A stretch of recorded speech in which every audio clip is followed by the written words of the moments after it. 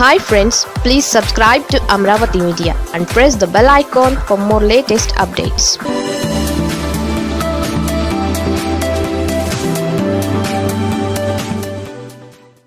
ప్రచారానికి రాకుండా నాకు ఓటేయమని చెప్పి మీడియాలోనో లేకపోతే వీడియోలోనో లేకపోతే ఎక్కడన్నా సమావేశంలోనో సభలోనో కూడా చెప్పకుండా ప్రజలు గెలిపించారంటే జగన్మోహన్ రెడ్డి గారిని చూసి మీరు నేర్చుకోవాల్సినటువంటి అవసరం ఉంది. ఈరోజు మాకు వయసు వచ్చింది మాకు అనుభవం వచ్చింది అని చెప్పి సొల్లు కబుర్లు చెప్పడం కాదు. నిన్న మొన్న అయితే ఎన్నికల ముందు రోజు చంద్రబాబు నాయుడు గుంటూరు విజయవాడలో పర్యటించి ఏం మాట్లాడతాడండి ప్రజలకు సిగ్గు చేరం లేదంట. ఇంటికి ఒకళ్ళు రావాలంట. పాచి పనులు చేసుకుంటానికి మద్రాసు హైదరాబాద్ బెంగళూరు పోతున్నారు కానీ వైఎస్ఆర్ కాంగ్రెస్ పార్టీ జెండా పట్టుకుంటే తన్ని తరిమేయాలని చెప్తాడు. ఈరోజు ఈ రాష్ట్ర ప్రజలు చంద్రబాబును తన్ని తరిమేశారు. ఇప్పుడు హైదరాబాద్లో పాచి పనులు చేసుకుంటున్నట్టున్నాడు కొడుకున్న తండ్రి పప్పునాయుడు తుప్పునాయుడు ఇద్దరు. అయినా కూడా సిగ్గు లేదు. జనానికి సిగ్గు ఉంది మాకు సిగ్గు ఉంది. మేము చేసేటువంటి కార్యక్రమాలు జనానికి అర్థమవుతున్నాయి. జన ముఖ్యమంత్రి గారికి అర్థమవుతుంది. కాబట్టి ఈ సిగ్గులైనటువంటి చంద్రబాబు ఇప్పటికైనా ఈ కృష్ణా గుంటూరు జిల్లాలో ఇచ్చినటువంటి తీర్పుతో అయినా నీకు సిగ్గు ఉంటే నువ్వు అసలు మనిషి జన్మెత్తితే నువ్వు ఒక సత్యనాడి కింద లెక్క కాకపోతే ఈ జిల్లాలో మేము సత్యనాడు కింద లెక్క అని చెప్పాడు మొన్న వచ్చి నువ్వు సత్యనాడి కింద లెక్క కాకపోతే నీకు సిగ్గు శరం మానవత్వం నీకేమన్నా నీతి జాతి కనుకుంటే ఈ కృష్ణా గుంటూరు జిల్లాలో అడుగు పెట్టొద్దని చెప్పి నేను ఈ జిల్లాలకు సంబంధించినటువంటి వ్యక్తిగా నేను చంద్రబాబు నాయుడు డిమాండ్ చేస్తున్నా. అదేవిధంగా ఒక కుట్ర కాదు. ఈ పంచాయతీ ఎన్నికల్లో కానీ ఈ మున్సిపల్ ఎన్నికల్లో కానీ గెలవటానికి ఎస్సీసీ నిమ్మగడ్డ రమేష్ గారు ఏబిఎన్ రాధాకృష్ణ గారు టీవీ ఫైవ్ బిఆర్ నాయుడు గారు ఈటీవీ రామోజీరావు గారు ఈ కుల సంఘాలన్నీ కూడా కలిసిపోయినాయి. కలిసిపోయి ఒక కుట్ర కాదు ఎనిమిదో తారీఖున మహిళా దినోత్సవం జరిగింది. భారతదేశంలో ప్రపంచంలో మహిళా దినోత్సవం. దానికి ఒక ఐదు ఆరుగురు కలిసి నేను చెప్పినటువంటి ఏబిఎన్ రాధాకృష్ణ కానివ్వండి ఈ బిఆర్ నాయుడు కానివ్వండి లేకపోతే చంద్రబాబు నాయుడు కానివ్వండి లోకేష్ కానివ్వండి ఒక ఐదు ఆరుగురిని ఆర్గనైజ్ చేసేటువంటి మహిళలను అడ్డం పెట్టుకుని అమరావతిలో ఉన్నటువంటి అమాయకమైనటువంటి రైతుల్ని రోడ్డు మీదగా తీసుకొచ్చి వాళ్ళని అరెస్టులు చేయించి వాళ్ళని ఇబ్బంది పెట్టి జగన్మోహన్ రెడ్డి గారిని పోలీసు వ్యవస్థని ఇష్టం వచ్చినట్టు తిట్టి మహిళా దినోత్సవం రోజు జగన్మోహన్ రెడ్డి గారు ఏదో మహిళలకు అన్యాయం చేశాడని చెప్పి ఎనిమిదో పదో తారీఖు ఎన్నికలు అయితే ఎనిమిదో తారీఖున. తొమ్మిదో తారీఖుని సిగ్గులైనటువంటి చంద్రబాబు వాళ్ళని పరామర్శించడానికి వెళ్తాడు. ఇదేదో పెద్ద మహిళలకి అమరావతి ప్రాంతానికి జగన్మోహన్ రెడ్డి గారి ప్రభుత్వం అన్యాయం చేసేస్తుంది అని చెప్పి చూపించుకుని మహిళలను అడ్డం పెట్టుకుని మహిళా దినోత్సవం రోజు వాళ్ళకి ఉపయోగపడాల్సింది పోయి వాళ్ళని అడ్డం పెట్టుకుని రాజకీయ లబ్ధి పొందాలని చెప్పి చంద్రబాబు నాయుడు ప్రయత్నించాడు.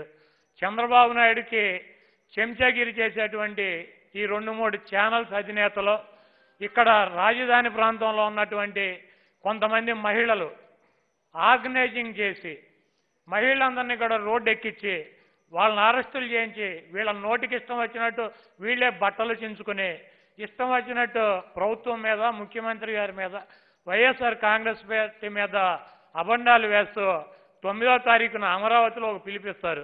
కృష్ణా గుంటూరు జిల్లా వాళ్ళు వైసీపీకి ఓటేయొద్దని చెప్పి. ఇప్పటికైనా అమరావతిలో ఉన్నటువంటి నిజమైనటువంటి రైతులకు కానీ అమరావతి ప్రాంతాల్లో పొలాలు ఉన్నటువంటి రైతులు కానీ ఆలోచించాల్సినటువంటి అవసరం ఉంది. జగన్మోహన్ రెడ్డి గారు అమరావతి నుంచి రాజధానిని తరలించి మొత్తం తీసివేయటం లేదు. పరిపాలనా రాజధాని వైజాగ్ తీసుకెళ్తున్నారు. జ్యుడిషియల్ రాజధాని కర్నూలు వెళ్తుంది.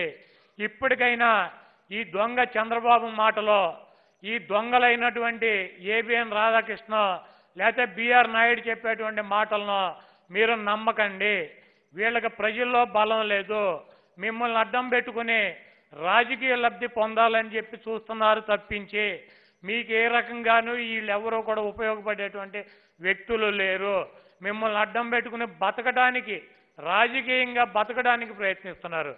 కాబట్టి ఇప్పటికైనా మీరు ఇటువంటి దుర్మార్గులను వదిలేసి ప్రభుత్వంతో చర్చలు జరిపి అమరావతిలో మీకు ఫ్లాట్లకు ఏం కావాలి మీకు రోడ్లు ఏం కావాలి మీకు గవర్నమెంట్ నుంచి వచ్చేటువంటి సంస్థలు ఏం కావాలి మీరు ఈ ప్రాంతంలో అభివృద్ధి చెందాలంటే మీ భూములు వాల్యూ పడిపోకుండా ఉండాలంటే మీకు ఏమి కావాలన్నదే మీరు ఒక ఎజెండా తీసుకుని కనుక ప్రభుత్వం దగ్గరికి వచ్చినట్లయితే జగన్మోహన్ రెడ్డి గారు మీతో చర్చించి మీకు కావలసిన మీరు అడిగిన దానికన్నా ఎక్కువే ఈ ప్రాంతానికి చేసి ఈ ప్రాంతాన్ని కూడా అభివృద్ధి చేయడానికి YSR Congress Party Jaganmohan Reddy గారు ముందుంటారు. జగన్మోహన్ రెడ్డి గారి కులాలు లేవు మతాలు లేవు మరి ప్రాంతాలు లేవు. అన్ని ప్రాంతాలని సమాన దృష్టిగా ముఖ్యమంత్రిగా చూసేటువంటి వ్యక్తి జగన్మోహన్ రెడ్డి గారు.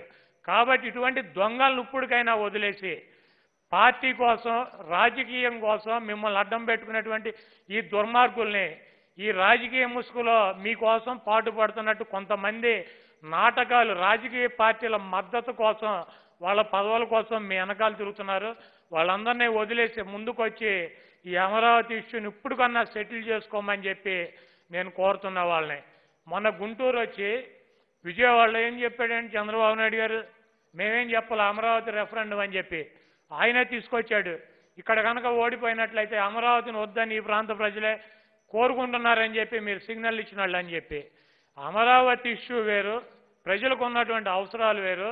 నేను మొదటి నుంచి చెబుతాను ఇక్కడ ఉన్నటువంటి అమరావతి రాజధాని రావటం వలన కృష్ణా గుంటూరు జిల్లాలో అభివృద్ధి చెందలేదు. ఇక్కడ అమరావతి కనుక వెళ్ళిపోయినట్లయితే కృష్ణా గుంటూరు జిల్లాలో అభివృద్ధి ఆగిపోయేటువంటి ప్రసక్తి ఉండదు. అయినప్పటికీ ఇక్కడ అనౌన్స్ చేశారు కాబట్టి శాసనసభ రాజధాని ఇక్కడే ఉంటుందని ముఖ్యమంత్రి గారు చెప్పారు కాబట్టి మీ ప్రాంతానికి ఏమి కావాలో మీరు ఒక ఎజెండాతో కనుక ముందుకు వచ్చినట్లయితే మీ తరపున ప్రభుత్వం తరపున చర్చలు జరిపి మీకు న్యాయం చేయటానికి YSR Congress Party Jaganmohan Reddy గారు మేము కూడా ముందుంటామని చెప్పి తెలియజేస్తూ ఇప్పటికైనా సరే రాజకీయ ముసుగులో ఉన్నటువంటి గుంట నక్కనే చంద్రబాబుని ఈ ప్రాంతానికి రాకుండా మనకు సిగ్గు చేరం లేదని చెప్పాడు. మనం మనుషులను చచ్చినాలతో సమానం అని చెప్పాడు. ఇప్పటికైనా చంద్రబాబు నాయుడు తుప్పునాయుడికి ఆయన కొడుకు పప్పు నాయుడికి ఇద్దరికి సిగ్గు శరం ఉంటే మీ ఇద్దరు బతికున్న మనుషులైతే మీరు ఈ ప్రాంతానికి అడుగు పెట్టొద్దని చెప్పి నేను డిమాండ్ చేస్తున్నాను. మాకు సిగ్గు శరం లేదు శ్రీము నెత్తురు లేదు మాకు బుద్ధి లేదు మేము సచ్చినాలతోనే సమానం అంటే కనుక మీరు వచ్చి ఇక్కడ తిరుగుతానంటే తిరగండి అది మీ కర్మ అని చెప్పి తెలియజేస్తున్నాను. అదేవిధంగా ఈరోజు పంచాయతీ ఎన్నికల్లో సింబల్ లేదు. కాబట్టి ఇక్కడ తాడేపల్లిలో ఉన్నటువంటి పార్టీ ఆఫీస్లో నాలుగు ఫేజులు కూడా అవుట్లు ఖాళీ చేశారు. చంద్రబాబు నాయుడు చంద్రబాబు నాయుడు అనుచరులు మేమే గెలిచాం. ముప్పై ఎనిమిది పాయింట్ ఏడు ఈయన లెక్కెట్టాడు. ముప్పై ఎనిమిది పాయింట్ ఏడు నలభై పాయింట్ రెండు నలభై ఒకటి పాయింట్ జీరో సెవెన్ ఈ పిచ్చి లెక్కలు చెప్పి మేమే నలభై శాతం పంచాయతీలు గెలిచామని చెప్పి. ఈ రోజు ఎందుకు రాలా చంద్రబాబు నాయుడు మీడియా ముందుకి? ఈ రోజు ఎందుకు అవుట్లు కాల్చలా? స్పష్టంగా పంచాయతీ ఎన్నికల్లోనే ఎనభై ఐదు శాతం వైసీపీకి గెలిపించారు. ఈ రోజు జరిగినటువంటి కార్పొరేషన్ ఎన్నికలు కానీ మున్సిపల్ ఎన్నికలు కానీ పంచాయతీ ఎన్నికల్లో కానీ చాలా స్పష్టంగా ఈ రాష్ట్ర ప్రజలు తీర్పిచ్చారు. నన్ను బూతుల మంత్రి అంటారు.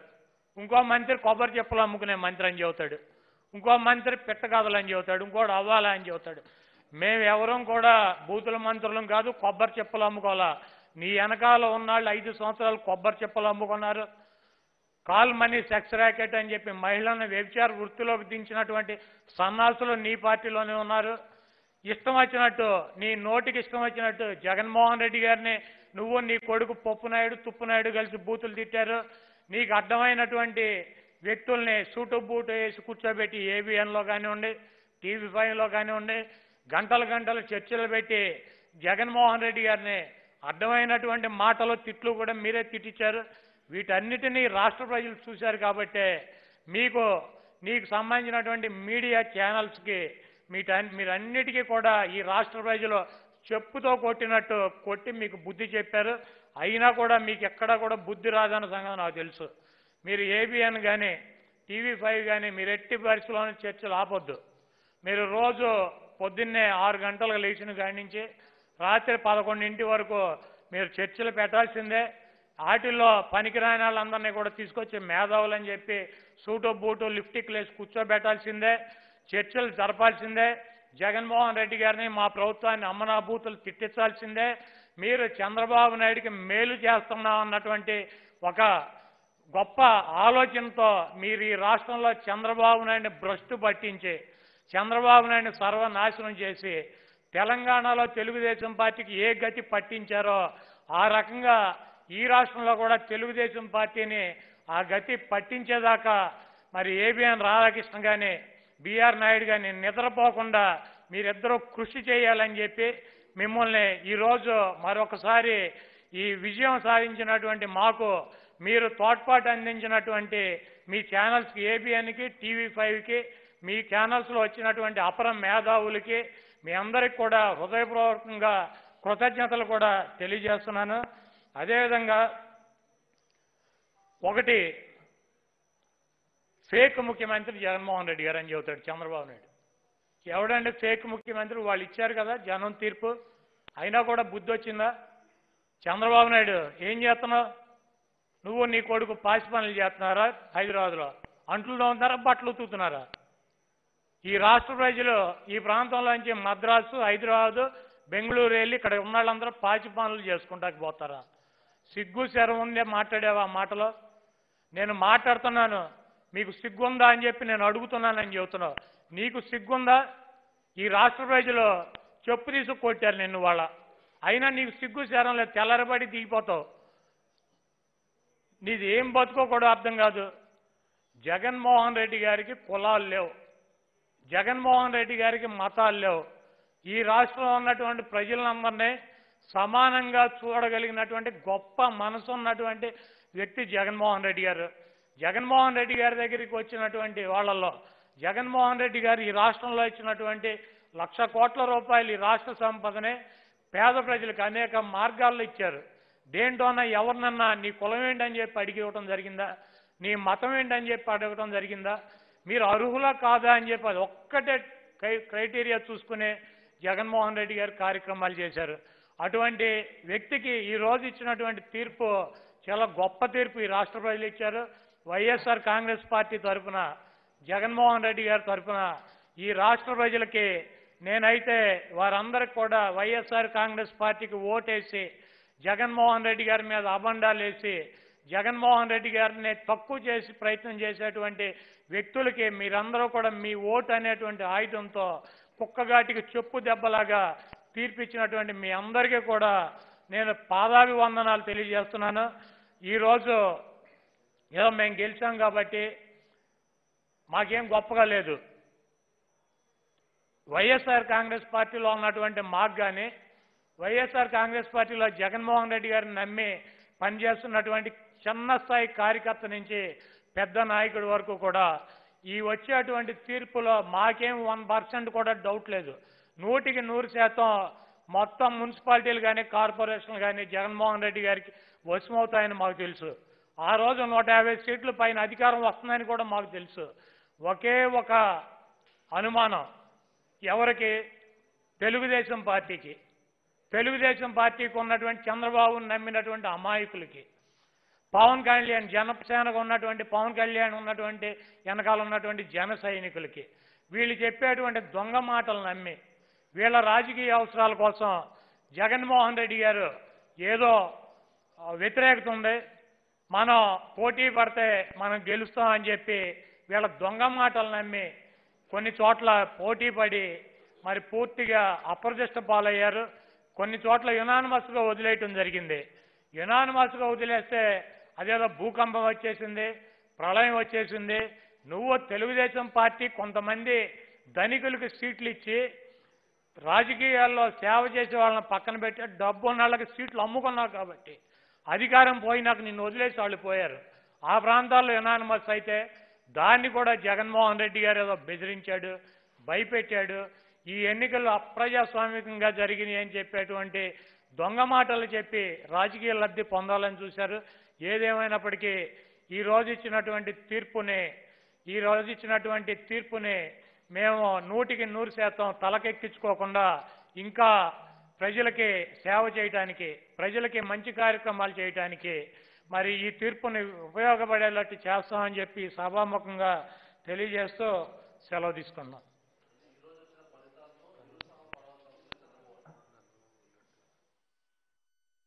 చంద్రబాబు నాయుడు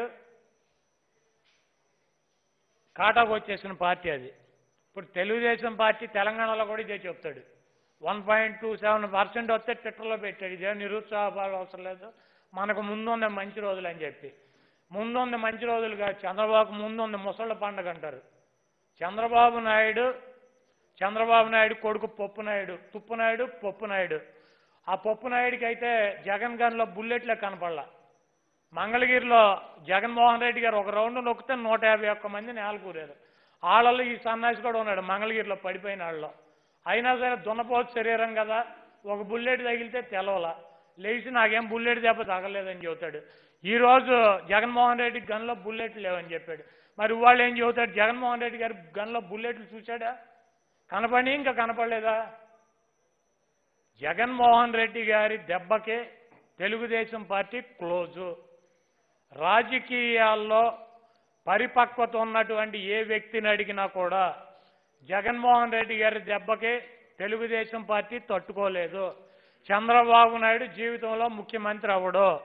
చంద్రబాబు నాయుడు కానీ లోకేష్ పప్పు నాయుడు కానీ ఎమ్మెల్యేలు కూడా గెలవలేనటువంటి పరిస్థితి ఈ రాష్ట్రంలో ఉంది. ఈ సంగతి వాళ్ళకు కూడా తెలుసు. వెనకాల ఉన్నటువంటి ఆ పది మంది పారిపోకుండా చంద్రబాబు నాయుడు వాళ్ళకి చెప్పేటువంటి దొంగ మాటలు ఇవి. కాబట్టి ఈ పప్పు నాయుడు కానీ తుప్పు నాయుడు కానీ చెప్పేటువంటి మాటల్ని పట్టించుకోవాల్సినటువంటి అవసరం లేదు. పవన్ కళ్యాణ్ గారు ఎన్నికలు జరుగుతుంటే తెలంగాణలో ఎమ్మెల్సీ ఎన్నికలు పదిన్నరకో పదకొండింటికో వచ్చి అక్కడ టీఆర్ఎస్ అభ్యర్థికి మద్దతు అంటాడు ఆయన. ఈ ఎన్నికల ప్రక్రియ చూస్తే బీజేపీకి కానీ జనసేనకు కానీ ఈ రాష్ట్రంలో ఏ రకమైనటువంటి గుణపాఠం చెప్పారో మనందరం చూసాం ఈయన ఏదో రకంగా ఇప్పుడు బీజేపీని వదిలించుకోవాలి అంతకుముందు సిపిఐని సిపిఎంని వెళ్ళి మాయావతి గారి దగ్గర వెయిట్ చేసి మరి అపాయింట్మెంట్ తీసుకుని ఆవిడతో అలయన్స్ పెట్టుకున్నాడు. ఎన్నికలు అవగానే టప్ అని వాళ్ళ ముగ్గురిని వదిలాడు. ఈరోజు బీజేపీని వదిలించుకోవాలి. ఆయన సొంత దత్తత తీసుకున్నటువంటి వ్యక్తి చంద్రబాబు నాయుడు పంచాయతీ చేరాలి కాబట్టి ఏదో ఒక వంక కావాలి. తెలంగాణలో ఈయన పార్టీ పోటీ చేసేది లేదు చచ్చేది లేదు. అక్కడ పోటీ చేసినా కూడా డిపాజిట్లు వచ్చేది లేదు సచ్చేది లేదు. దానికి అక్కడ బీజేపీ మీద నిందలేసి ఏదో రకంగా బీజేపీలోంచి బయటకు వచ్చి చంద్రబాబు నాయుడు పంచాయతీ చేరాలి. మరి మనం కనుక ఈస్ట్ గోదావరి వెస్ట్ గోదావరి కొన్ని చోట్ల చూసుకున్నట్లయితే ఇప్పటికే మున్సిపల్ ఎన్నికల్లో బీజేపీ జనసేన టీడీపీ కలిసి పోటీ చేసినాయి. అయినా కూడా చెత్త చెత్తగా ఓడిపోయినటువంటి పరిస్థితి. వాళ్ళిద్దరూ అలయన్స్ కలుపుకోవటానికి ఏయో రకంగా బీజేపీ మీద నాలుగు అబండాలు రాళ్ళు వేసి బయటికి రావాలి. మీరు వస్తే రండి కలిస్తే కలవండి. ఇప్పుడు ఎస్సీసీ కలిశాడు ఏవిఎన్ రాధాకృష్ణ గారు కలిశాడు బిఆర్ నాయుడు గారు కలిశాడు పవన్ కళ్యాణ్ గారు కలిశాడు బీజేపీ వాళ్ళు కలిశారు తెలుగుదేశం పార్టీ కలిసింది. ఈ రాష్ట్రంలో ఉన్నటువంటి శక్తులన్నీ కూడా కలిసినాయి జగన్మోహన్ రెడ్డి గారి ఇంటికి ఏమైనా ఓడపీకగలిగారా ఏమీ పీకలేకపోయారు. కాబట్టి జగన్మోహన్ రెడ్డి గారు ప్రజలను నమ్మి రాజకీయాలు చేయడానికి వచ్చినటువంటి వ్యక్తి. జగన్మోహన్ రెడ్డి గారు ఏ పార్టీతోనూ కూడా ఇంటర్నల్గానో లేకపోతే కనపడేటట్టో ఎక్కడ కూడా అలయన్స్ పెట్టుకోడు. ఏ ఎన్నికలు వచ్చినా కూడా సింగల్గా సింహం సింగల్గానే వస్తుంది. జగన్మోహన్ రెడ్డి గారు సింగల్గానే వస్తాడు. వీళ్ళకి ఏమీ మిగల్చకుండా మొత్తం ఆయనే తీసుకెళ్ళేటువంటి పరిస్థితి రాష్ట్రంలో ఉంది కాబట్టి రేపు తిరుపతిలో జరిగేటువంటి పార్లమెంట్ ఎన్నికలైనా కూడా నాలుగు లక్షల మెట్ల మెజార్టీతో తిరుపతి పార్లమెంటును కూడా వైఎస్ఆర్సీపీ గెలిచి తీరుతుంది. ఎంతమంది ఏ రకంగా అడ్డం పడినా కూడా జగన్మోహన్ రెడ్డి గారి విజయాన్ని ఏ వ్యక్తులు కూడా ఆపలేనటువంటి పరిస్థితి ఉంది. ఈ రాష్ట్రంలో ఉన్నటువంటి ఐదు కోట్ల మంది ప్రజల ఆశీస్సులు జగన్మోహన్ రెడ్డి గారికి ఉన్నాయి. ఈ రాష్ట్రంలో ఉన్నటువంటి ఐదు కోట్ల మందికి ప్రతినిధిగా జగన్మోహన్ రెడ్డి గారు అన్ని ప్రాంతాలని అన్ని కులాలని అన్ని మతాలని అందరినీ సమానంగా చూసేటువంటి వ్యక్తిగా జగన్మోహన్ రెడ్డి గారు ఉన్నారు కాబట్టి ఎవరైనా తెలుసో తెలవకో జగన్నాథ రథచక్రాల కింద అడ్డం పడదామని కనుక ఎవడన్నా వస్తే నలిగిపోవటం సత్యం. నేను గతంలో చెప్పా ఇప్పుడు చెప్పా రేపు కూడా చెప్తా. జగన్మోహన్ రెడ్డి గారు నడిపేటువంటి జగన్నాథ రథచక్రాల కింద ఎంతమంది కలిసి వచ్చినా విడివిడిగా వచ్చినా నలిగిపోవటం సత్యం. జగన్మోహన్ రెడ్డి గారి రథ చక్రాలను జగన్మోహన్ రెడ్డి గారిని రథాన్ని ఐదు కోట్ల మంది ఆంధ్రులు లాగేటువంటి రథం అది. దాని ముందు గనక మీరు అడ్డం పడితే నలిగిపోక తప్పదు. ఇప్పుడు గెలిచినటువంటి స్థానాల్లో అక్కడ ఉన్నటువంటి ఎమ్మెల్యేలు మంత్రులు ఇన్ఛార్జీలు ఉన్నారు. గెలిచినటువంటి ప్రాంతంలో జగన్మోహన్ రెడ్డి గారు మొదటి నుంచి కూడా ఆలోచించేది ఒకటే. అన్ని ప్రాంతాల్లో కూడా అన్ని కులాలని సమానంగా కలిపి తీసుకెళ్ళాలి రాజకీయాల్లో కానీ ప్రభుత్వంలో కానీ అని ఆయన నిర్ణయం తీసుకున్నారు. మీరు చూశారు క్యాబినెట్ మొట్టమొదట. ఆయనకి ఎన్ని ఇబ్బందులు ఉన్నా ఎన్ని ఒత్తిళ్ళు ఉన్నా బీసీలకు కానీ ఎస్సీలకు కానీ మైనార్టీలకు కానీ ఎస్టీలకు కానీ క్యాబినెట్లోనే సముచితమైనటువంటి స్థానం. సగభాగం పైన వాళ్ళకి కల్పించడం కానీ మరి డిప్యూటీ సీఎంలో మరి ఎస్టీలకు ఇవ్వటం జరిగింది ఎస్సీలకు ఇవ్వటం జరిగింది మరి మైనార్టీలకు ఇవ్వటం జరిగింది కాపులకు ఇవ్వటం జరిగింది. వీటన్నిటిని కూడా దృష్టిలో పెట్టుకుని మాకు గెలిచినటువంటి వాటిలో ఈ కులాలు మతాలు వీటన్నిటిని కూడా సమతుల్యతతో మరి మేయర్ పదవులు కూడా చైర్మన్ పీఠాలు కూడా ఇవ్వటం జరుగుతుంది. ఇవన్నీ కూడా ముఖ్యమంత్రి గారు కసరత్ చేసి ముఖ్యమంత్రి గారు నిర్ణయం తీసుకుంటారు.